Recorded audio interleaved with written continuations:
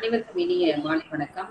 ஐயனடா ஜானகியம்மாள் கல்லூரி தமிழ்துறை சார்பாக நிகழக்கூடிய நூல் வாசிப்பு முற்றம் நிகழ்வு நூத்தி எண்பத்தி நாலு. இன்றைய நிகழ்விலே நம்மிடையே நம் கல்லூரியை சார்ந்த முதுகலை தமிழ் இரண்டாம் ஆண்டு பயிலக்கூடிய மாணவர் செல்வன் மு. தங்கச்சாமி அவர்கள் நூல் கருத்துரை வழங்குவதற்காக வருகின்றிருக்கின்றார்கள் அவர்கள் நல்லதொரு நூலினை தேர்ந்து இன்று வருகின்றிருக்கின்றார்கள் நம் மண்ணை சார்ந்த எழுத்தாளர் உதயசங்கர் அவர்களினுடைய கட்டை விரலின் கதை என்ற நூலை குறித்து பேச இருக்கின்றார்கள். மாணவர் தங்கச்சாமி ஒரு ஓராண்டாக எங்களுக்கு நன்கு தெரிந்த மாணவர். இளநிலை படிக்கக்கூடிய காலத்திலேயே முதல் மதிப்பெண் அவர்களுடைய காளீஸ்வரி கல்லூரியிலே பெற்றிருக்கக்கூடிய மாணவர். கவிதை கட்டுரை நாடகம் என முத்தளங்களில் இயங்கக்கூடிய ஒரு மாணவர். வகுப்பறையிலே பாது பார்ப்பதற்கு சாதுவாக இருப்பார். ஆனால் திடீரென கேள்வி கணைகளை முன்வைப்பார். அது ரொம்ப மிகவும் மதிநுட்பத்துடனும் கூர்த்த தன்மையுடனும் அந்த கேள்விகள் இருக்கும். சில மாணவர்கள் ஆர்ப்பாட்டமாக இருப்பார்கள் சில மாணவர்கள் அமைதியாக இருப்பார்கள். அந்த அமைதியான வகையை சார்ந்த மாணவர் தான் தங்கசாமி.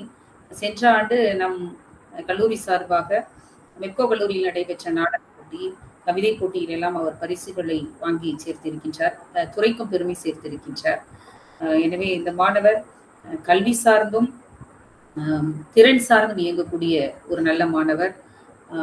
முதுகலை பயின்ற பயின்றதற்கு கூட அடுத்து உயர்கல்வியை படிக்க வேண்டும் என்ற நோக்கத்தோடு இருக்கக்கூடிய ஒரு மாணவர் இன்று நல்லதொரு நூலினை தேர்ந்து வருகின்றிருக்கின்றார். இதனுடைய ஆசிரியர் உதயசங்கர் அவர்களும் இந்த நிகழ்விற்கு வருகின்ற வருகை தர இருக்கின்றார்கள். ஐயா வந்திருப்பாங்கன்னு நினைக்கிறேன். உதயசங்கர் ஐயா நமக்கு நன்கு அறிமுகமானவர். கல்லூரிக்கு இருமுறை வருகின்றிருக்கின்றார். உம், ஆதனின் பொம்மை என்ற நூலுக்காக பால சாகித்ய விருது பெற்ற ஒரு சிறந்த எழுத்தாளர். கரிசல் மண்ணை சார்ந்த எழுத்தாளர் மிகவும் எளிமையானவர். அவருடைய எழுத்துக்களுமே எளிமையாக இருந்தால் கூட படிக்க படிக்க ஒரு கூர்மையான சிந்தனையை நோக்கி நம்மை நகர்த்தி கொண்டே செல்லும். அஹ் கட்டை விரலின் கதை ஒரு குறியீட்டு தலைப்பாக அமைந்திருக்கின்றது. ஏ கலைவனுடைய கதை. அந்த ஏ கலைவனுடைய கதையை எடுத்துக்கொண்டு இன்றும் கூட அந்த அதிகாரம் எப்படியெல்லாம் செயலா செயலா செயல் வடிவத்திலே மனிதர்களிடத்தில் இருக்கிறது என்பதாக அவருடைய அந்த கதையினுடைய நகர்வு இருக்கிறது. அந்த ஏகலைவன் கேட்கக்கூடிய ஒவ்வொரு கேள்வியும் அவனுடைய இயக்கமும் நம்மை கூட அசைத்து பார்க்கும். அந்த அளவிற்கு அந்த கதை ஒரு துன்ப கதையை எடுத்துக்கொண்டு அவருடைய பார்வையிலே மனிதர்களை அசைத்து பார்க்கக்கூடிய ஒரு கதையாகத்தான் இந்த கட்டைவிரலின் கதையை பார்க்க முடிகிறது. அந்த வகையிலே ஒரு நல்லது ஒரு நூல் தேர்வு. இந்த நிகழ்விற்கு வருகை வருகிறந்திருக்கக்கூடிய மாணவர் தங்கச்சாமி அவர்களையும் இந்த நூலினுடைய நிறைவிலே கலந்துரையாடல் செய்வதற்காக வருகிற இருக்கக்கூடிய எழுத்தாளர் மதிப்பிற்கு மரியாதைக்கும் உரிய உதயசங்கர் அவர்களையும் நாங்கள் பெருமகிழ்ச்சியோடு வரவேற்று அமைகின்றோம். நன்றி. தொடக்க உரை வழங்கி சிறப்பித்த அருண்மொழி அம்மா அவர்களுக்கு நன்றி. இப்பொழுது நூல் கருத்துரைக்கான நேரம். எழுத்தாளர் உதயசங்கர் அவர்களினுடைய கட்டை விரலின் கதை என்ற நூல் குறித்து கருத்துரை வழங்க சிவகாசி ஐயனாடா ஜானகி அம்மாள் கல்லூரியின் முதுநிலை தமிழ் இரண்டாம் ஆண்டு மாணவர் செல்வன் மு. தங்கசாமி அவர்களை அன்போடு அழைக்கின்றேன் அனைவருக்கும் வணக்கம். என் பெயர் மு. தங்கச்சாமி முதுகலை தமிழ் இரண்டாம் ஆண்டு படிக்கின்றேன். அய்யநாடா ஜானியம்மாள் கல்லூரியில். இன்று நான் பேச எடுத்துக்கொண்ட புத்தகம் வந்து கட்டை விரலின் கதை உதயசங்கர் ஐயா எழுதிய இளையோர் நாவல். இந்த நாவல் மகாபாரதம் என்பது பல்வேறு கிளைக்கதைகளை கொண்டுள்ளது. அதில் ஒரு கிளைக்கதை தான் ஏகலைவன் உடைய கதை. ஏகலைவன் யார் என்றால் ஏகலைவன் வந்து துரோணரிடம் விற்பயிற்சி விற்பயிற்சி கற்றுக்கொள்ள வேண்டும் என்று ஆசைப்படுகின்றான். ஆனால் துரோணர் மறுத்து விடுகின்றார். அதற்காக துரோணரை தன்னுடைய குருவாக நினைத்து உருவ சிலை அமைத்து அதன் மூலமாக அவரின் இடமிருந்து அந்த விற்பயிற்சி கலையை கற்றுக்கொள்கின்றான். அவர் குரு தட்சணையாக கேட்கும்போது தன்னுடைய கட்டை விரலையே அறுத்து தந்து விடுகின்றான். அப்படின்னா தான் நம்ம படிச்சிருக்கோம். இதை மாற்று நோக்கில் வேறொரு சிந்தனையில் சொல்வதுதான் இந்த இளையோர் நாவல். இந்த நாவல் வந்து கேப்டன் பாலு அப்படிங்கக்கூடிய ஒரு சிறுவன் வந்து ஒரு புத்தகத்தை எடுத்து படிக்கிறான். அது வந்து ஒரு கட்டை விரலின் கதை அப்படின்னு இருக்கு. அந்த புத்தகத்துல இது ஆசிரியர் யாருன்னு பார்த்தா ஏகலைவன் அப்படின்னு எழுதியிருக்கு. அந்த கட்டை விரல் அப்படிங்கிற அந்த புத்தகம் வந்து அந்த பாலு அப்படிங்கிற பையன் கூட பேசுற மணிக்கும் அந்த பாலுவே அந்த ஏகலைவனாக மாறுற மணிக்கும் இந்த கதையை அமைச்சிருப்பாங்க. இந்த கதை வந்து அந்த ஏகலைவன் அப்படிங்கிறவன் எப்படிப்பட்டவன்? அவன் வந்து நல்ல காட்டில் வாழக்கூடிய ஒருவன் நாகர் குலத்தை சார்ந்தவன் அப்படின்னு இதுல எழுதியிருப்பாங்க. அவன் காட்டில் எவ்வளவு விற்பயிற்சி எல்லாம் அனுபவம் பெற்றவனாக இருக்கின்றான் அந்த மலையில் அந்த காட்டை பற்றிய ஒரு அனுபவம் அவனுக்கு எப்படிப்பட்டதாக இருக்கின்றது என்பதெல்லாம் முதலில் சொல்லிவிட்டு அதன் பின்பு துரோணர் அர்ஜுனன் அவர்கள் பற்றிய கதை கூறுவார்.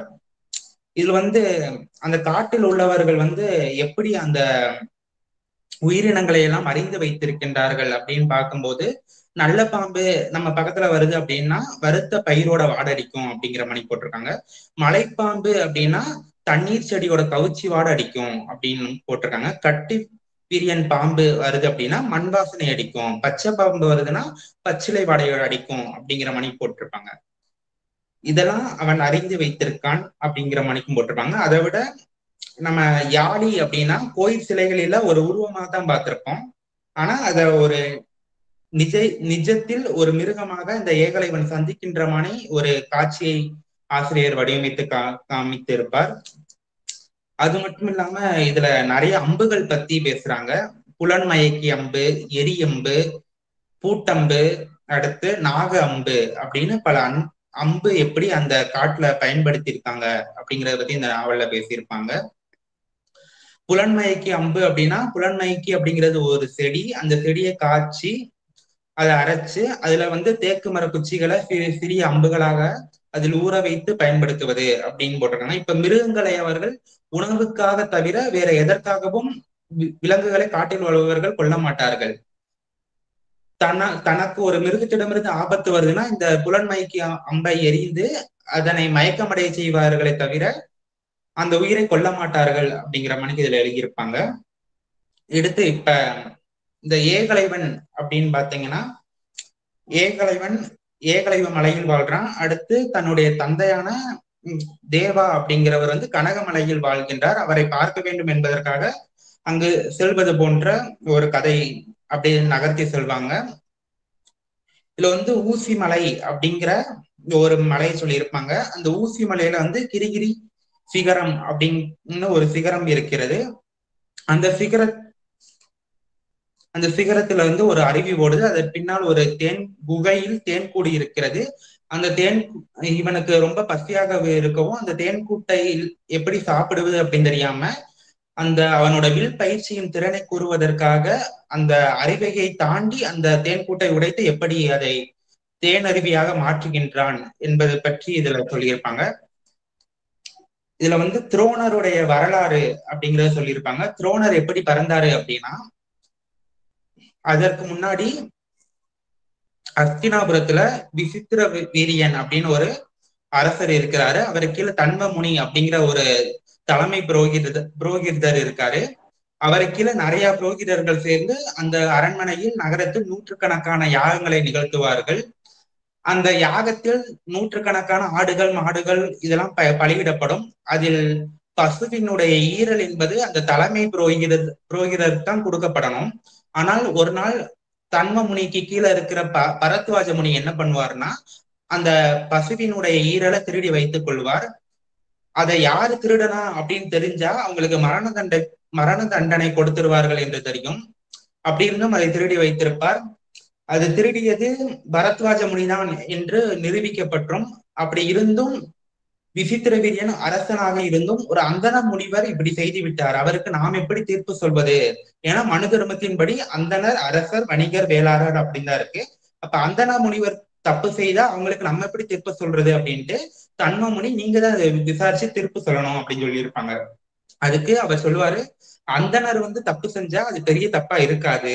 இருந்தாலும் அவருக்கு ஏதாவது நம்ம தண்டனை தரணும் இல்லையா அப்படின்னு நான்கு வேதங்களையும் பத்து முறை நீங்க காட்டுல இருந்து பிரதி எடுத்து வ பிரதி எடுத்துட்டு வரணும் அப்படின்னு சொல்லி பரத்வாஜ முனிக்கு தண்டனை கொடுத்து அனுப்பி விட்டுருவாங்க. பரத்வாஜ முனி தன்னுடைய மனைவி பிந்து மாதவி மகன் மனு இவங்க மூணு பேர்த்தோட காட்டுல வாழ்வாரு. அந்த பிந்து மாதவி தன்னுடைய உணவுக்காண்டி காட்டுல இருந்து வேட்டு வச்சு துரோணி அப்படிங்கிறவங்கள வரவழைச்சிருப்பாங்க. தேன் திணைமாவி இதெல்லாம் கொண்டு வரதுக்காண்டி துரோணி அப்படிங்கிறவ வந்துட்டு போவாங்க. ஒரு நாள் பிந்து மாதவியும் அவங்களுடைய மகனும் காட்டுக்கு பழங்கள் பறிக்கிறதுக்காண்டி போகும்போது இந்த துரோணி வரும்போது துரோணியோட துரோணியோட அழகுல மயங்கி அவளை தன்னுடைய வசமாக்கி கொள்ளணும் என்பதற்காண்டி பரத்வாஜ முனிவர் வந்து நீர்ல வந்து ஒரு மயக்க மருந்த கலக்கி கொடுத்து அவரை அடைந்துருவாரு. அது துரோணிக்கு தெரிய வரவும் துரோணி வந்து கம்பை எடுத்து பரத்வாஜ முனிவரை அடிப்பாங்க. இருந்தாலும் இதை வெளியே சொல்லிடாதமா அப்படின்ட்டு பரத்வாஜ முனி காலில் விழுந்து கெஞ்சிர மனைக்கு இருக்கும். இருந்தாலும் அந்த பத்து மாதங்கள் கழித்து அந்த துரோணிக்கு வந்து ஒரு ஆண் குழந்தை பிறக்கும். ஆனா அந்த துரோணிக்கு வந்து ஏற்கனவே திருமணம் முடிந்து காடன் அப்படிங்கிற ஒரு கணவன் இருப்பாரு. அந்த காடன் அப்படிங்கிற கணவர் வந்து தனக்கு தான் அந்த குழந்தை பிறந்திருக்கு அப்படின்னு நினைச்சு வளர்ப்பாங்க. துரோணிக்கும் பரத்வாஜ முனிவருக்கும் பிறந்தவர் தான் துரோணர். இந்த துரோணர் வளர்ந்து வர்றப்ப அவரு என்னதான் காட்டுல வாழ்ந்தாலும் அவர் ஒரு அந்தனருடைய பிள்ளை. அதனால அவருக்கு அந்த காட்டுல வாழ்றது பிடிக்காது. காட்டுல வந்து வில் பயிற்சி இந்த வேல் பயிற்சி இதெல்லாம் கத்துக்கிட்டு அங்க வாழ முடியாம தன்னுடைய தந்தையா உண்மையான தந்தை யாரு அப்படிங்கிறத தெரிஞ்சுக்கிட்டு பரத்வாஜ முனிவர் கிட்ட பரத்வாஜ முனிவர் தன்னுடைய மகனுக்கு வந்து பூணூல் பூஜை அதெல்லாம் பண்ணி உன்னை வந்து இந்த பாண்டவ கௌரவர்களுக்கு வில் பயிற்சி வேல் பயிற்சி இதெல்லாம் அழைக்கக்கூடிய ஒரு குருவா ஒன்ன நியமிக்கிறேன் அப்படின்ட்டு துரோணரை நியமிச்சிருவாரு. இந்த துரோணர் என்ன பண்ணுவாரு அப்படின்னா தனக்கிட்ட அதிகாரம் இருக்கு அப்படிங்கிறதுக்காண்டி நம்ம தான் எல்லாம் இதுக்கப்புறம் எல்லாத்தையும் நம்ம தான் முடிவு பண்ணணும் அப்படின்னு நினைப்பாரு. அந்த துரோணருக்கு என்ன பழக்கம் இருக்குன்னா புதிது புதிதாக காலணி அணியணும் அப்படிங்கிற ஒரு ஆர்வம் இருக்கும். அந்த ஆர்வத்துல சேதா அப்படிங்கிற ஒரு செருப்பு தைக்கும் தொழிலாளி வாரம் வாரம் எனக்கு புதுசா ஒரு செருப்பு தைச்சு தரணும் அப்படின்னு சொல்லி இருப்பாங்க ஒரு வாரம் கொடுக்க மறந்திருப்ப மறந்திருப்பாரு. என்ன காரணம் அப்படின்ட்டு அவனை கூட்டு வந்து கேட்கும் போது என் வீட்டுல நான் சிவபூஜை நடத்துறேன். அந்த சிவபூஜை முடிவுல வந்து சிவபெருமான என்னுடைய வீட்டுல வந்து சாப்பிடுவாரு. அப்படி சாப்பிடுற லேட் ஆயிடுச்சு நேரம் ஆகிவிட்டது. அதனால என்னால செருப்பு தைத்து தர முடியல. அடுத்து உங்களுக்கு ரெண்டு செருப்பா சேர்த்து தச்சு தந்துடுறேன். அப்படின்னு சொல்றப்ப என்னது? நீ ஒரு இலிக்குலத்தை சார்ந்தவன் உன் வீட்டுல சிவபூஜை நடத்துறியா? அப்படியே சிவபூஜை நடத்தினாலும் அதுல சிவபெருமான் வந்து சாப்பிடுறியா? சாப்பிடுறாங்க அப்படின்னு சொல்றியே. இது எப்படி நான் நம்புறது? நீ என்கிட்ட பொய் சொல்லிட்ட. அதனால நீ என்ன பண்ற? அடுத்து வர்றப்ப எனக்கு ஆயிரம் ஜோடி செருப்பை நாளைக்கே தச்சு தரணும் அப்படின்னு சொல்லி இருப்பாரு அது எப்படி ஆயிரம் ஜோடி செருப்பையும் ஒரே நாள்ல தைக்க முடியும் அப்படின்ட்டு அவங்க பாதுகை தெரு அப்படின்னு சொல்லி இருப்பாங்க அந்த தெருவுல போய் சொல்றப்ப அந்த தெருவுல உள்ள ஆளுங்களும் இவருக்கு உதவி பண்ணுவாங்க. இவர் வீட்டுல சிவபூஜையில சாப்பிடுற சிவனடியார் அவர்களும் இவங்களுக்கு செருப்பு தைச்சு தருவாங்க. இவர் உண்மைதான் பேசுறாரா அப்படிங்கிற தெரிஞ்ச தெரிஞ்சுக்கிறதுக்காண்டி துரோணர் வந்து தன்னுடைய மகளான காந்தாவை மாறு வேடத்துல இந்த சேதா அப்படிங்கிற வீட்டுல என்ன நடக்குது அப்படின்னு பார்த்துட்டு வர அனுப்பியிருப்பாங்க. அவங்களும் எல்லாம் சொல்லுவாங்க. திரு தன்னோட தந்தையிட்ட வந்து இன்னதான் நடந்துச்சு அப்படின்னு சொல்லவும் மறுநாள் காலையில அவர் ஆயிரம் ஜோடி செருப்பையும் கொண்டு வந்து நிக்கவும் நீ என்கிட்ட போய் சொல்லிட்ட. உன் வீட்டுல சிவனடியார் தான் வந்து சாப்பிட்டு இருக்காங்க ஆனா நீ சிவனே வந்து சாப்பிட்டதா சொல்லியிருக்க. அது மட்டும் இல்லாம நீ இந்த ஆயிரம் செருப்பையும் நீ ஒரு ஆளே தைக்கல. எல்லார விட்டும் தைக்க விட்டுருக்க. அதனால நீ என்ன அவமதிச்சிட்ட? என்ன அவ ஒரு அந்தனாரான என்ன அவ அவமதிக்கிறது? அந்த கடவுளை அவமதிக்கிறதுக்கு சமம். அதனால உன்னை நான் மாறுகை மாறுகால் வாங்க போறேன் அப்படின்னு உத்தரவிட்டுருவாரு. அதே மாதிரி மாறுகை மாறுகால் வாங்கிடுவாரு அடுத்து வந்து அந்த சேதா அப்படிங்கிறவர் தன் தான் செஞ்ச தப்ப அந்த துரோணர் எப்படி மறைக்கிறாரு அப்படின்னா இப்ப பொதுவா இந்த அரசர்கள் இந்த சேனாதிபதிகள் இவர்கள் செய்த தவறுகளை வந்து சூதர்கள் அப்படின்னு ஒருத்தவங்க இருப்பாங்க. அவங்க வந்து இந்த தவறுகளை மறைத்து தன்னை புகழ்ந்து பாடக்கூடியவர்களா இருப்பாங்க. அப்படி இந்த பக் இந்த பக்த சேதா அப்படிங்கிறவர் வந்து அத கோயிலை கட்டி கும்பிட ஆரம்பிச்சிருவாங்க. ஆனா அந்த செருப்பு தைக்கக்கூடிய தொழிலாளிகள் வந்து அந்த கோயிலுக்குள்ள வரக்கூடாது அப்படின்னு சொல்லிடுவாங்க அதனால என்ன பண்ணுவாங்க? ஒத்தைக்கால் செருப்பை வைத்து பக்த சேதா அப்படின்ட்டு அந்த இனம் வந்து கும்பிட்டுக்கிட்டு இருப்பாங்க. அதாவது துரோணர் தான் சிவன். அதாவது பக்த சேதா அப்படிங்கிறவரு முற்பிறவியில அந்தனரா பிறந்து ஒரு தவறு செய்ததன் காரணமாக இந்த பிறவியில இப்படி பிறந்திருக்காரு. அவர் அவரோட சிவபக்தியை சோதிக்கிறதுக்காண்டி தான் நான் மார்கை மார்கால் வாங்கினேன். இது போன ஜென்மத்துல அவர் செஞ்ச தப்புக்கான பலன் இந்த ஜென்மத்துல அவர் கிடைச்சிருக்கு. அப்படிங்கிற மனைக்கு இந்த சூதரர்கள் வந்து புகழ்ந்து பாடி எல்லா தெருகளிலையும் பேசிட்டு வந்துருவாங்க. இதன் மூலியமா என்ன தெரியுது அப்படின்னா ஒருத்தர் பாதையில வந்து கஷ்டம் இருக்கு அப்படின்னா அந்த காசு கஷ்டத்தை தவிர்க்கணுமே துடைக்கணுமே தவிர அந்த கஷ்டத்தை அதிகப்படுத்தக்கூடாது. ஒருத்தவங்க வாழ்க்கை என்பது ஓட்டப்பந்தயம் இல்ல அது ஒரு பயணம்.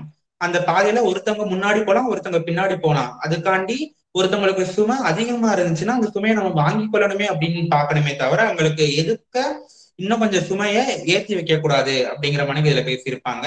அதாவது ஒரு அதிகாரத்துல உள்ளவங்க தாங்கள் செஞ்ச தவறுகளை எப்படியெல்லாம் மறைக்கிறாங்க அப்படிங்கிறத இதுல பேசியிருப்பாங்க. அடுத்து வந்து அர்ஜுனன் அர்ஜுனன் வந்து ஒரு நாள் கா காட்டுக்கு போறான். அந்நேரம் வந்து கோம்பை நாய் அப்படின்னு ஒரு நாய் இருக்கு.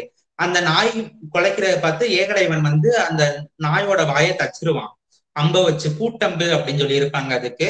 அப்படி தச்ச உடனே அர்ஜுனன் வந்து கேக்குறப்ப யார் செஞ்சது? அப்படின்னு சொல்றப்ப நான் தான் செஞ்சேன் அப்படின்ட்டு ஏகலை வந்து முன்னாடி நிற்பான் உனக்கு என்ன ஆணவம்? ஒரு அரசனோட நாயை அவமதிக்கிறது. அந்த அரசனையே அவமதிக்கிற மாணிக்கு. அப்ப ஏகலைவன் திமுறா பேசுவான். உங்க ஊர்ல அரசனை வச்சுதான் நீங்க வேட்டையாடுவீங்களா? இது எனக்கு தெரியாம போச்சு அப்படின்னு கேக்குறப்ப அர்ஜுனன் வந்து வில்ல எய்த பார்ப்பான். அதுக்குள்ள வந்து ஏகலைவன் வந்து வில்லி எய்து இந்த அர்ஜுனனோட கிரீடத்தை தலையில விழுக வ விழுக வச்சிருவான். உடனே அர்ஜுனனும் குதிரையில இருந்து கீழே விழுந்துருவான். சுத்தி உள்ள வீரர்கள் எல்லாம் அர்ஜுனனை கூட்டு போயிருவாங்க. அர்ஜுனன் வந்து தான் தான் வில்வித்தல சிறந்தவன் அப்படின்னு நினைச்சுக்கிட்டு இருக்கும்போது தன்னை விட ஒரு வில்வித்தல சிறந்தவனை நம்ம இன்னைக்கு பார்த்துட்டோம். அப்ப துரோணர் வந்து நம்மளுக்கு கத்துக் கொடுக்க வேண்டிய எல்லாமே கத்துக் கொடுக்கல. நம்ம விட சிறந்த வில்லாளி ஒருத்தன் இருக்கான் அப்படின்னு நினைச்சுக்கிட்டு இனிமே நம்ம வாழ்றதுக்கு தகுதியே இல்லை அப்படின்னு நினைச்சிருவாரு. ஏன்னா துரோணர் மேல அர்ஜுனனுக்கு ஏற்கனவே சந்தேகம் இருக்கும். தன்னுடைய மகன் அஸ்வத்தாமனுக்கு மட்டும்தான் எல்லா பயிற்சிகளையும் கற்றுத்தராரு. நம்மள தாமதப்படுத்துறாரு. இப்ப பயிற்சியின் இடைவெளியில ஒரு குறுகலான வாயுடைய குடத்தை கொடுத்து இந்த குடத்துல போய் தண்ணி வந்துட்டு வாங்க அப்படின்னு சொல்றப்ப தன்னுடைய மகனான அஸ்வந்தாமனுக்கு மட்டும் அகலமான வாயுடைய குடத்தை கொடுப்பாரு. இதன் மூலமா ஏற்கனவே அர்ஜுனனுக்கு வந்து தனக்கு வந்து துரோணர் வந்து தவறு செய்கிறார். நம்மளுக்கு முழுமையா கற்றுக் கொடுக்கவில்லை அப்படின்னு ஒரு எண்ணம் இருக்கும். இருந்தாலும் உன்னைதான் நான் இந்த உலகத்திலே சிறந்த வில்லாளியாக மாற்றுவேன் அப்படின்னு சொல்லி இருப்பாங்க துரோணர். அதை மனதில் வச்சுட்டு இனிமே நான் வாழவே கூடாது யாரும் முந்திலே முடிக்க கூடாது அப்படின்ட்டு அர்ஜுனன் வந்து தற்கொலை பண்ணிக்க போவான். அத வீரர்கள் மூலியமா கேள்விப்பட்ட துரோணர் வந்து தடுத்து நிறுத்துவாரு. அப்படி தடுத்து நிறுத்துறப்ப இப்ப என்னாச்சு? உன்னை விட ஒருத்தன் வில்வித்தல சிறந்தனா இருக்கான் நீ நினைக்கிற. அவ்வளவுதானா? இப்ப அவனை அழிச்சுட்டா நீ தானே சிறந்த வீரன் அப்படின்ட்டு அவன் ஏகலைவன் வாழக்கூடிய ஊசிமலை காட்டு அந்த பகுதிக்கு போவாங்க. அங்க போய் போறப்ப ஏகலைவன் வந்து இருக்க மாட்டான். ஏகலைவன் வந்து கூப்பிட்டு பார்ப்பாங்க அவன் வரமாட்டான். உடனே துரோணர் என்ன பண்ணுவாரு? ஏகலைவன் இறந்து போயிட்டான். அப்படின்னு நீங்க முரசறிந்து தெரிவிங்க அப்படின்னு சொல்றப்ப அப்படி தெரிவிச்சிருவாங்க. அந்த ஊர் மக்கள் எல்லாம் கூடிடுவாங்க ஏகலைவனும் வந்துருவான். நீங்க யாரு அப்படின்னு கேக்குறப்ப ஏன் இந்த அர்ஜுனனோட கிரீடத்தை தள்ளி விட்ட அம்ப வச்சு அப்படின்னு கேக்குறப்ப அம் இந்த கிரீடத்தோட போச்சே நீங்க தப்பிச்சோன்னு நினைச்சுக்கோங்க. விட்டா நான் அவனையே கொண்டுருவேன் அப்படின்னு சொல்லியிருப்பாங்க. என்ன ஆனவோ இந்த வில்பத்தை நீ யார்கிட்ட கத்துக்கிட்ட அப்படின்னு கேக்குறப்ப நான் யார்கிட்ட கத்துக்கணும். இதுல அழகா ஒரு வார்த்தை சொல்லியிருப்பாங்க. குளத்துல வாழ்ற மீனுக்கு நீந்த யார் கத்து கொடுக்கணும்? நான் இந்த காட்டிலேயே தான் வாழ்றேன். என்கிட்ட இருக்கிற முன்னோர்கள் எப்படி வாழ்ந்தார்களோ அவர்கள் மூலியமாக நான் கத்துக்கிட்டு வாழ்றேன். நான் யார்கிட்டயும் போய் கத்துக்கல அப்படின்னு சொல்றப்ப இல்ல இல்ல நீ என்னத்தான் குருவா நினைச்சு நீ இந்த வில்வித்தையை கத்திருக்க அப்படின்ட்டு துரோணர் சொல்லுவாரு. துரோணர் வந்து அந்த ஏகலைவனை தோற்கடிக்கணும் அப்படிங்கறதுக்காண்டி நீ தான் என்னோட குரு என்ன என்னை வந்து குருவா ஏத்துக்கோ.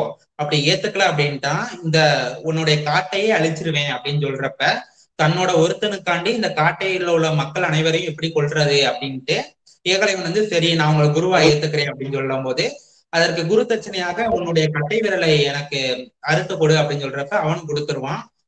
அதை பார்த்து அந்த ஊர் மக்கள் அனைவருமே தங்களுடைய கட்டை விரலை அறுத்து வைக்கிற மாணிக்கும் அது மலை போல குமிந்து குமிந்து கிடப்பது மாணிக்கும். அதுல இருந்து குருதி வெள்ளம் ஓடுவது போலையும் அதுல வந்து அர்ஜுனனும் துரோணரும் நனைவது போலையும் ஆசிரியர் எழுதியிருப்பாரு.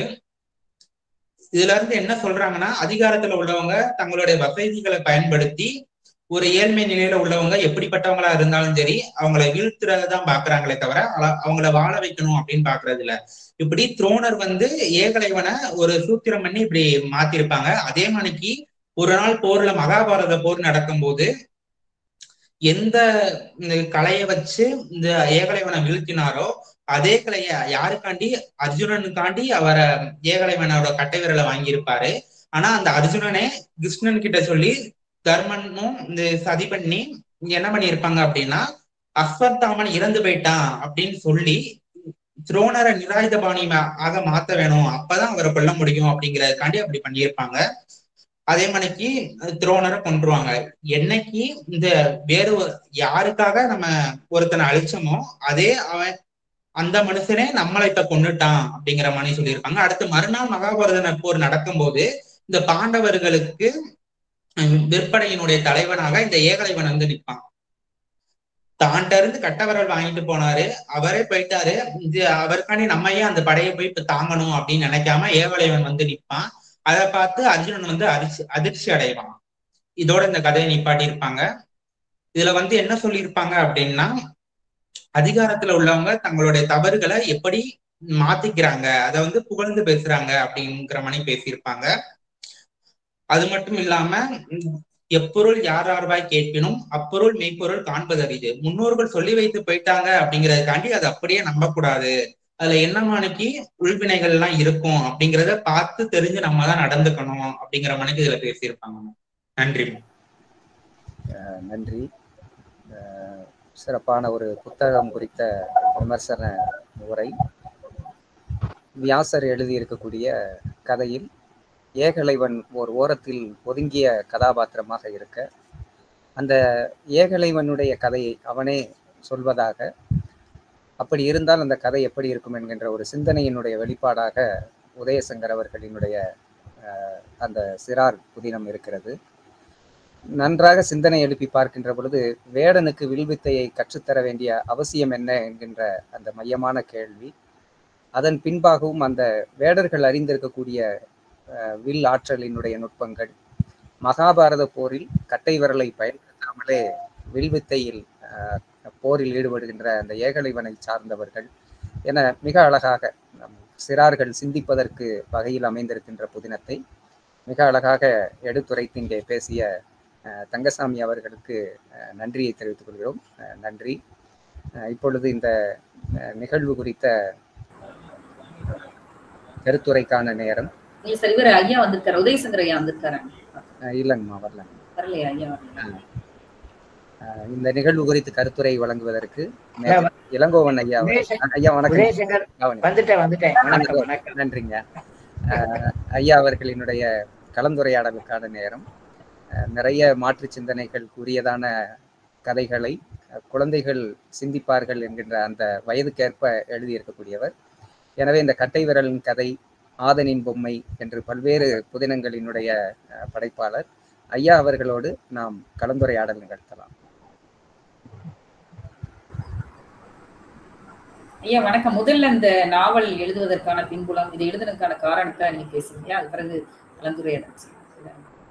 வணக்கம்மா. அனைவருக்கும் வணக்கம். கட்டைவர்களின் கதை என்கிற இந்த நாவலை எழுதுவதற்கு மிக முக்கியமான தூண்டுகோல் என்பது தூண்டுகோல் என்பது மகாபாரதத்தை படிக்கும் பொழுது இந்தியாவினுடைய இருபத்தி மூன்று மொழிகளில் இரண்டே இரண்டு இதிகாசங்கள் மட்டும் பேசப்படுகிறது அப்படிங்கிற ஒரு கேள்வி ஒன்று இரு வந்துகிட்டே இருந்தது. ராமாயணமும் மகாபாரதமும் மட்டும்தான் இருபத்தி மூணு மொழியிலையும் ஒரு இதிகாசமாக இருக்க முடியுமா? அப்படிங்கிற கேள்வி வரும் பொழுது அந்த கதைகளினுடைய பின்னணி என்ன?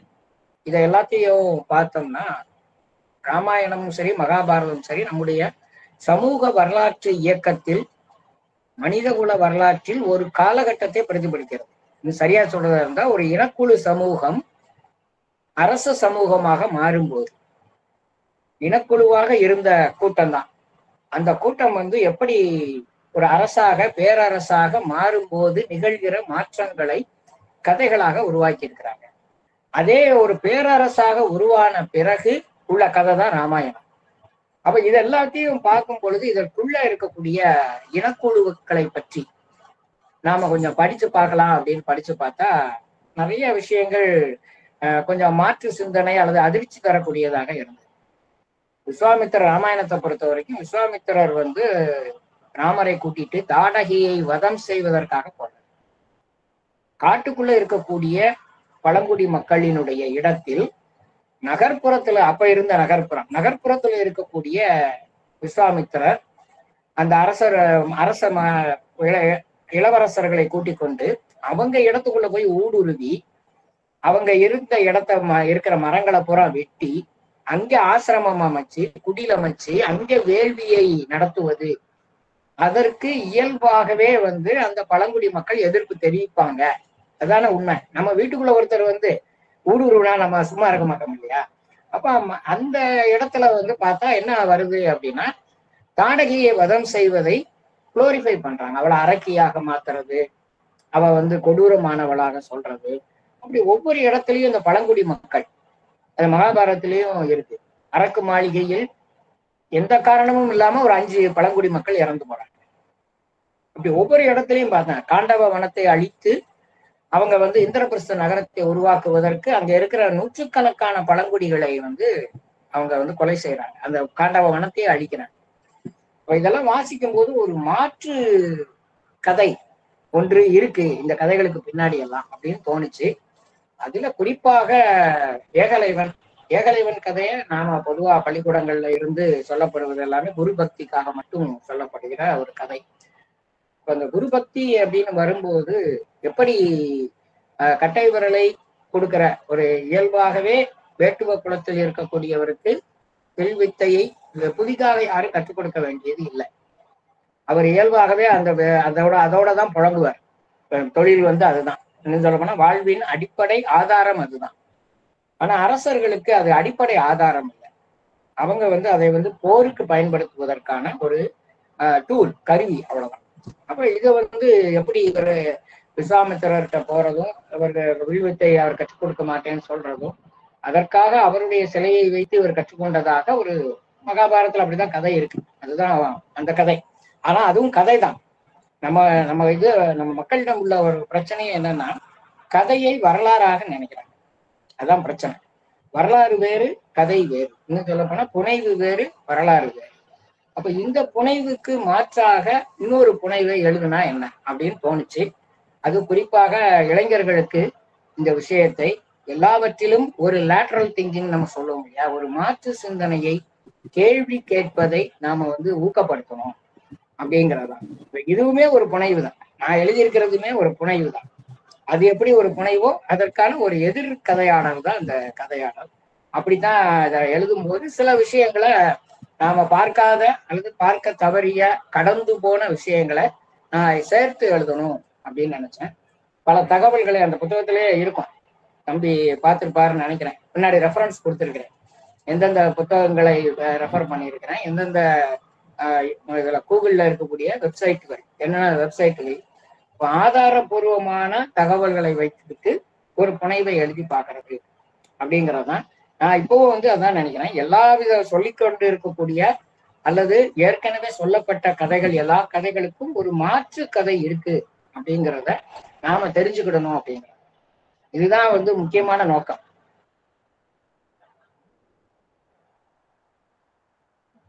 அப்போ என்னுடைய கேள்வி என்னுடைய ஒரு கேள்வி என்ன அப்படின்னா ஆஹ், திரு உதயசங்கர் அவர்கள் சொல்றதை வச்சு பார்க்குறப்போ வரலாறு திரிக்கப்பட்டிருக்கிறதா? உண்மை மறைக்கப்பட்டிருக்கிறதா? அதான் என்னுடைய கேள்வி. அதான் அதுதான் இப்ப நீங்க கேட்ட கேள்வி கரெக்டான கேள்வி. ஆனா வரலாறுக்கும் புனைவுக்கும் இடையில் எப்பவுமே இடைவெளி உண்டு. வரலாறு என்பது ஆதாரபூர்வமாக இருக்கணும். இப்ப இன்றைக்கு வந்து கீழடி ஆதனின் பங்கை கதை எழுதும்போது அதை வச்சுதான் எழுதணும் கீழடி தான் அடிப்படை. ஆனா கீழடியை பொறுத்தவரை கீழடியில் அகலாய்வு செய்து அந்த தொல்லியல் பொருட்கள் கிடைக்க கிடைப்பதற்கு முன்பு வரை தமிழர்களினுடைய வரலாறு குறித்து எந்த இந்திய வரலாற்று புத்தகங்களிலும் இல்லை. வரலாற்று ஆய்வாளர்கள் எழுதின புத்தகங்கள்லயே. ரோமிலா தாப்பரா இருக்கட்டும் ஆர் எஸ் சர்மாவாக இருக்கட்டும் அல்லது தேவி பிரசாத் சட்டோபாத்தியாவாக இப்படி இருக்கக்கூடிய இந்திய வரலாற்று ஆய்வாளர்கள் இந்திய வரலாறு குறித்து பெரிய பெரிய புத்தகங்கள் எழுதியிருக்காங்க. எந்த புத்தகத்திலையும் தென்னிந்தியாவை பற்றி குறிப்பில்லை. குறிப்பாக தமிழ்நாட்டை பத்தி குறிப்பில்லை. அப்போ அவங்க என்ன சொல்றாங்க அப்படின்னா ஆதாரபூர்வமாக உங்களுடைய வ- உங்களுடைய வாழ்க்கை குறித்த வரலாறு இல்லைன்னு சொல்றாங்க. ஓ நாம சங்க பாடல்கள் இருக்கு அப்படின்னு சொன்னா சங்க பாடல்கள் மிகைப்படுத்தப்பட்ட புனைவு. எப்பவுமே இலக்கியம் வந்து மிகைதான் நமக்கு தெரியும். இலக்கியத்திலே வந்து எப்பவுமே மிகையாக இருப்பதுதான் இலக்கியம். இன்னும் சொல்ல போனா புதுமை பித்தன் அப்படிதான் சொல்லுவார். புழுகின் மீது உண்மையின் மீது கட்டப்பட்ட புழுகும்பர். அப்ப இத்தினூண்டு உண்மைதான். அதுக்கு மேல வந்து பெரிய ஒரு கட்டடத்தை வந்து இலக்கியத்துல கட்டி வைக்கிறோம். அப்ப அந்த கட்டிடமே வரலாறு அல்லது அந்த கட்டிடம் முழுக்கவே உண்மை அப்படின்னு நம்ம நம்ப முடியாது. அப்போ இப்போ கீழடியில் ஆதாரங்கள் கிடைத்த பிறகு இன்னைக்கு வந்து இந்தியாவினுடைய வரலாறை தென்னிந்தியாவில் தொடங்க வேண்டும் என்று அதே வரலாற்று ஆய்வாளர்கள் சொல்றாங்க. அதாவது குறிப்பா ரோமிலா தாப்பர். இப்ப அவங்க தான் லிவிங் ஆதரே அவங்க வந்து சொல்றாங்க. அப்ப வரலாறு த- க- வரலாற்றை நாம உருவாக்க வேண்டும் என்றால் அல்லது வரலாற்றை நாம எழுத வேண்டும் என்றால் மிக முக்கியமாக அதுக்கு வந்து இலக்கிய சான்று மட்டுமல்ல இலக்கிய சான்று கல்வெட்டியல் சான்று அல்ல அகழாய்வு சான்று இவை எல்லாம் சேரும் போது மட்டும்தான். இப்ப நாம கார்பன் டேட்டிங்னு சொல்றோம் இல்லையா? அறிவு அறிவியல் பூர்வமான அந்த சான்று.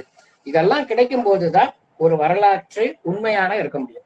மகாபாரதத்திற்கோ ராமாயணத்திற்கோ இதுவரை அப்படி எந்த ஒரு வரலாற்று சான்றுகளும் கிடைக்கும் அப்போ இது வந்து என்ன அப்படின்னா ஒரு நம்ம கா- நம்ம காலத்துக்கு முன்னாடி ஒரு கதை இருந்திருக்கு.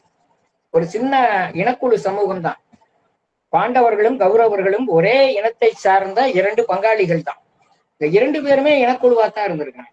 இந்த இனக்குழுக்கள் அரசர்களாக மாறும்போது அவர்களுக்கு இடையில் நிகழ்ந்த விஷயங்கள் ஒரு சின்ன சம்பவம். அந்த சம்பவத்தை பின்னாடி வந்தவங்க கதைகளை சேர்த்து சேர்த்து சேர்த்து அதை வந்து விரிவாக்கி ஒரு மிகப்பெரிய புனைவாக மாத்திட்டாங்க. அது ஒரு ஒரு சிறந்த இலக்கியமான சிறந்த இலக்கியம். அதுல எல்லாம் ஒண்ணும் மறுப்பு கிடையாது. அது ஒரு மிகச்சிறந்த இலக்கியம். மனித மனங்களை ஆய்வு செய்யக்கூடிய மிகச்சிறந்த இலக்கியம். மகாபாரதத்தை பொறுத்த வரைக்கும் எல்லா விஷயங்களுக்கும் ஒரு எதிர்நிலை இருக்கும். ஐந்து பேர் திருமணம் முடித்த திரௌபதிக்கும் கர்ணன் மீது ஒரு ஆசை இருக்குன்னு ஒரு இடத்துல வருது. இதே மாதிரி எந்த நீங்க எடுத்தாலும் அது கர்ணனாக இருந்தாலும் சரி துரியோதனன் அவ்வளவு மோசமானவன் சொல்லும் போதே துரியோதனனுடைய இன்னொரு த அதர் சைடு அவன் எவ்வளவு நல்லவங்கிறதையும் வந்து காட்டுவான். அப்ப இது வந்து மகாபாரதத்துல மட்டுமே இருக்கக்கூடிய ஒரு பிரத்யேகமான தன்மை. அதுதான் இலக்கியம். ஆனா அதற்கு பின்னாடி இருக்கக்கூடிய இந்த வேல்யூஸ் நம்ம சொல்றோம் இல்லையா மதிப்பீடுகள். அந்த மதிப்பீடுகள் வந்து எப்படிப்பட்ட மதிப்பீடுகளா இருக்கு அப்படின்னா பெரும்பாலும் அரச அரசு உருவாகும் போது அல்லது பேரரசு உருவாகும் போது அதில் முதல் பலியாகிறவர்கள் இனக்குழு மக்கள் தான் பழங்குடி மக்கள் தான் எளிய மக்கள் தான் அது மகாபாரதம் முழுக்க இருக்கு. மகாபாரதத்தினுடைய முழுக்க முழுக்க இருக்கக்கூடிய அத்தனை இதுலையும் வந்து அது தொடர்ந்து இருந்துகிட்டே இருக்கு. அப்ப இதை வந்து நாம வந்து கவனப்படுத்தணும். அப்படிங்கிறது தான் அரசர்களுடைய புகழ் பாடுவது மட்டும்தான் இலக்கியம் என்ற இடத்தில் இருந்து நாம் மக்களை பற்றி பேச வேண்டும். எளிய மக்களை பற்றி பேச வேண்டும். யார் வந்து பாதிக்கப்படுகிறார்களோ அவர்களை பற்றி பேச வேண்டும். அப்ப அவர்களுடைய பார்வையிலிருந்து இதை பார்த்தா எப்படி இருக்கும்? அப்படிதான் ஏகலைவன் பார்வையில் இருந்து நான் வந்து மகாபாரதத்தை பார்த்தேன். அது மாதிரிதான் அந்த கதையை வந்து எழுதி வணக்கங்க ஐயா. முதல்ல வந்து செல்வன் தங்கசாமி அவர்களுக்கு நம்முடைய பாராட்டுகள் இது மறு வாசிப்புக்கு உட்படுத்தப்பட்ட ஒரு நாவலை சிறுவர் இலக்கியமாக கொண்டு வந்திருக்கீங்க இப்ப எனக்கு என்ன கேள்வினா இந்த நவீனத்துவம் சார்ந்து அஹ், கட்டுடைத்தல் என்ற பெயரில் நீங்களே சொல்றீங்க மனம் மனித மனங்களை அதாவது தன்வசப்படுத்தி இரண்டு பேர் இந்தியாவின் இரண்டு பெரிய அஹ், இதிகாசம் புராணம் அவற்றை கொண்டு வந்து இளையோர்களுக்கு ஒரு மறுவாசிப்பாக அல்லது கட்டுடைத்து கொடுப்பது அந்த இலக்கியங்களை பகடி செய்வதாக அமைந்து விடாதா? நீங்க சொல்கிற அந்த வேட்டுவர் குலத்தை பற்றி பேசுவதாக இருந்தால் ஒரு புதிய இலக்கியங்களை படைத்து அந்த வேட்டுவர் சமுதாயத்தை உயர்த்தி காட்டலாமே. ஏன் இருப்பதை கட்டுடைத்து அதை பகடி செய்ய வேண்டும் என்று கொஞ்சம் விளக்கினால் சிறப்பாக இருக்கும். நன்றி ஐயா. நல்ல கேள்விதான்.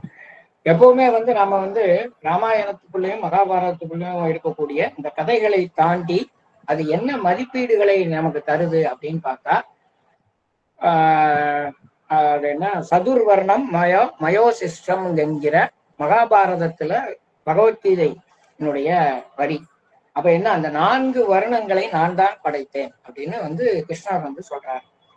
அப்ப இந்த நான்கு வருணங்களினுடைய பணி என்ன? நான்கு வருடங்களுடைய தர்மம் என்ன? வர்ணாசிரம தர்மம் என்கிற ஒரு கோட்பாடு எப்படி உருவாகுது? இந்த காலகட்டத்துல தான் உருவாகுது. இதுல இருந்துதான் கதைகள் மூலமாக மக்கள் மனதில் வர்ணாசிரம தர்மத்தை கொண்டு போறாங்க. இந்த வர்ணாசிரம தர்மத்தில் அந்த நான்கு வர்ணங்களை தாண்டி இருக்கக்கூடியவர்கள் தான் பழங்குடி மக்கள். அதுல வெளியே இருக்கிறவங்க தான் இது. அப்ப நீங்க பாத்தீங்கன்னா மனு தர்மத்துக்குள்ளேயே நமக்கு நிறைய விஷயங்கள் இருக்கு. என்ன சொல்றாங்கன்னா யாரெல்லாம் இழிவானவர்கள் யாரெல்லாம் சண்டாளர்கள் யாரையெல்லாம் கொலை செய்தால் அது சிறிய குற்றம் அப்படின்னு மகா மனு தர்மத்துல இருக்கு. இப்படி அப்போ நீங்க யார் பக்கம் இருந்து இதை பார்க்கணும்?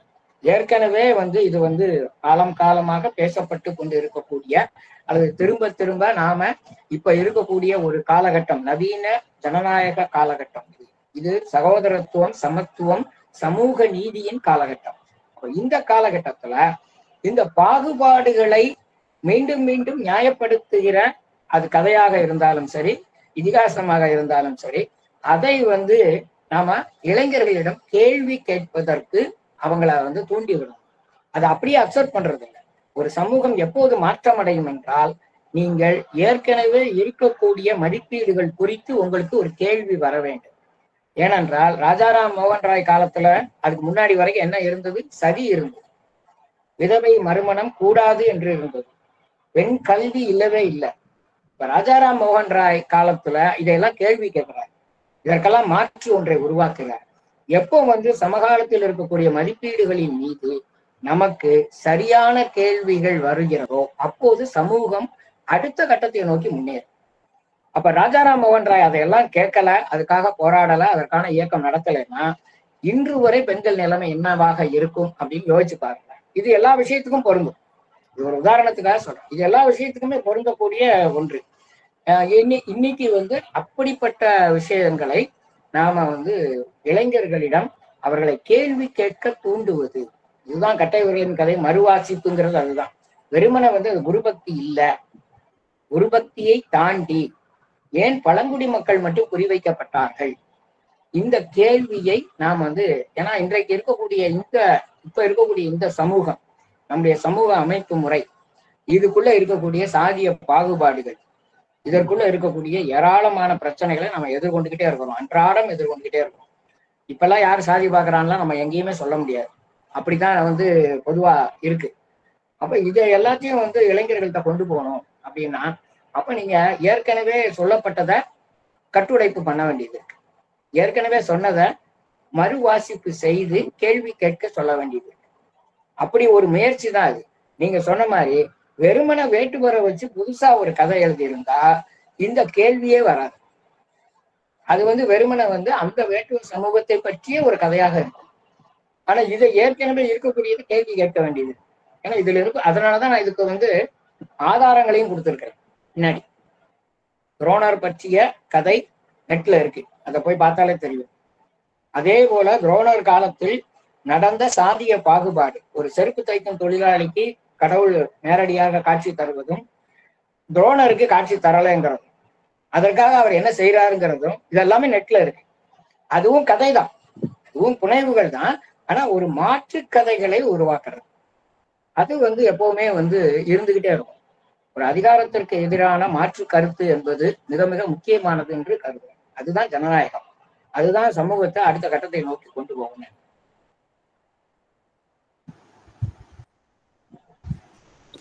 புதிய சிந்தனை புதிய பாதை. இல்ல நம்ம அப்படி போகணும்ல கொண்டு போகணும்ல. வேற வேற மாணவர்கள் யாராவது கேள்வி கேட்கிறாங்களா தம்பி பேசும்போது நான் வர முடியல எனக்கு நெட்டு கிடைக்கல. கொஞ்சம் அதனால தங்கசாமி பேசுனதை நான் கேட்க முடியல. கடைசி நிமிஷம் தான் வந்தேன்.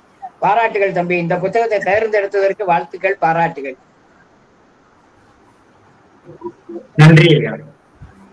தங்கசாமிக்கு கேள்வி இருந்தாலும் கேளு. ஐயா கிட்ட நீ வாஸ்தவனால ஐயா அந்த துரோணரோட பிறப்பு பத்தி சொல்லும் போது மகாபாரதத்துல வேற மாதிரி சொல்லியிருப்பாங்க.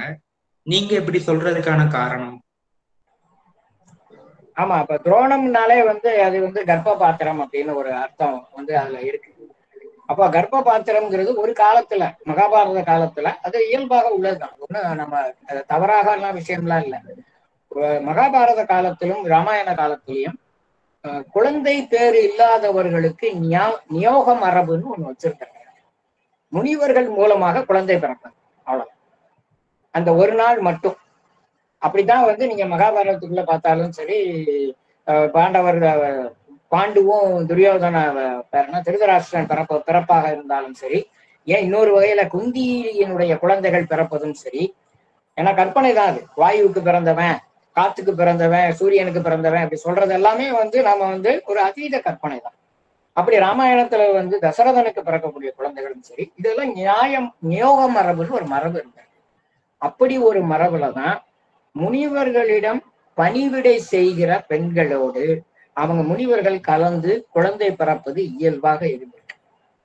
அப்படித்தான் வந்து பரத்வாஜ முனிவர் வந்து அவர் ஆசிரமம் அமைக்கும் போது அங்க இருந்த பழங்குடி பெண்ணோடு கலந்து பிறந்த குழந்தை தான் துரோணாச்சாரியார் அப்படின்னு ஒரு கதை ஒண்ணு இருக்கு. இது எல்லாமே கதை தான் அந்த அ- அப்படி ஒரு கதை இருக்கு. அதனாலதான் துரோண துரோணாச்சாரியார் வந்து வில்வித்தை சொல்லிக் கொடுக்கிற ஆசிரியரா போறாரு.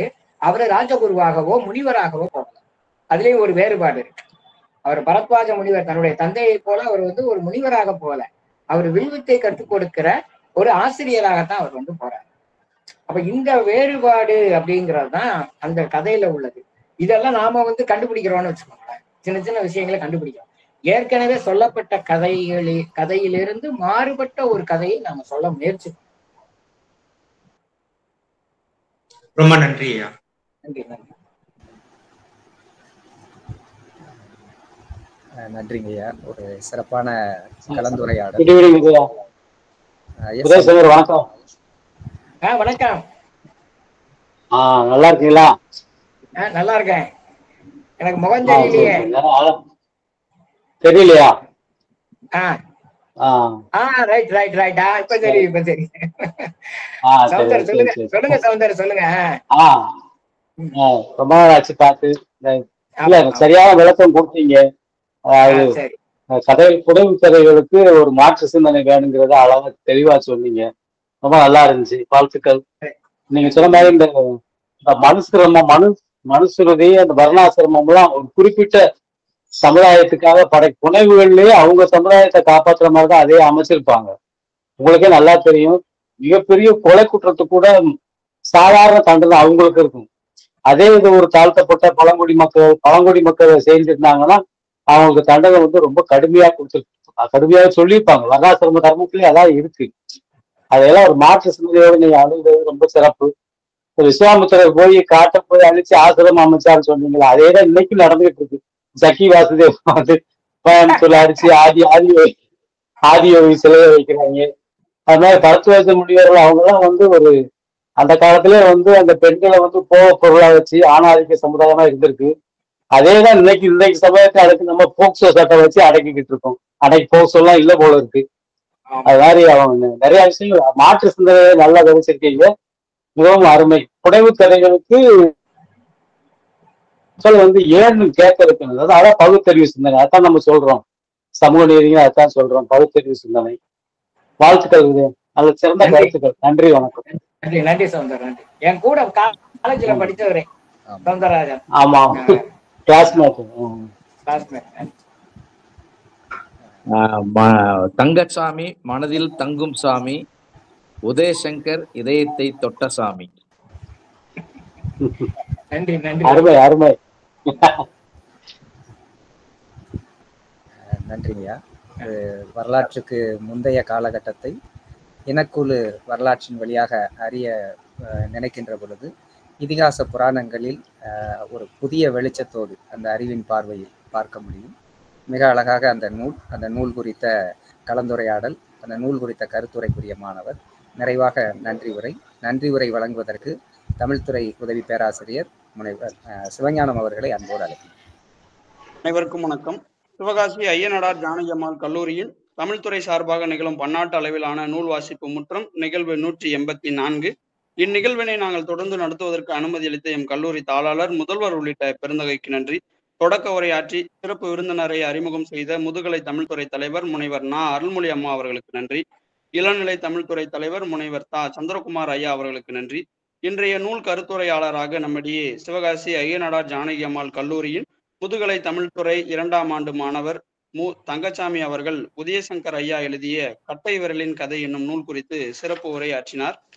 ஆஹ் வானம் பதிப்பகத்தின் வெளியீடாக வெளிவந்த பணுவல் இளையோருக்கான குறு நாவல் கேப்டன் பாலு ஏகலைவனாக கதையினை நகர்த்தும் போக்கு பாம்புகளின் வகையினையும் அதன் போக்கினையும் தெரிந்து கொள்ளும் பாங்கு அம்புகளின் வகையினையும் பயன்படுத்தும் முறையினையும் அறிந்த மனப்பான்மை ஊசிமலையின் சிறப்பு துரோணரின் வரலாறு தினமும் புதிய காலனி அணிந்து கொள்ளும் துரோணரின் எண்ணம் பாதுகை தெருவினை சுட்டியமை ஒத்தை கால் செருப்பினை வைத்து வணங்கும் போக்கு மன்னன் முன் நின்று பாடும் தூதர்களின் செயல்பாடு அதிகாரத்தில் இருக்கும் துரோணரின் போக்கு கூட்டு அம்பினை பயன்படுத்திய ஏகலைவனின் திறமை தந்தை மகன் உறவினை தூக்கி பிடித்தமை அர்ஜுனன் துரியோதன அர்ஜுனன் துரோணரின் கசப்பான எண்ணங்கள் ஏகலைவனின் ஊசி மலையினை அழிக்க சதி திட்டம் தீட்டுதல் ஏகலைவனுக்காக ஊர் மக்கள் தன் விரல்களை வெட்டி கொள்ளும் காட்சி வேட்டுவ குலத்தில் பிறந்தமைக்காக ஏகலைவனுக்கு வில்வித்தை கற்றுக் கொடுக்க துரோணர் மறுத்ததும் கற்றுக் கொடுக்காத வில்வித்தைக்காக குருதட்சணை என்ற பெயரில் அவனது கட்டை விரலை அநியாயமாக பெறுவதையும் கண்முன் காட்சியுற காட்சியுறும் வகையில் உரையாற்றிய மு. தங்கச்சாமி அவர்களுக்கு நன்றி. இத்தருணத்தில் அட்டை விரலின் கதை என்னும் நூலை எழுதிய பால புரஸ்கர் விருது பெற்ற எழுத்தாளர் உதயசங்கர் ஐயா அவர்களும் இணைந்து வினாவிற்கு விடை என்னும் போக்கில் கலந்துரையாடிமை கலந்துரையாடியமைக்கு நன்றிகள்.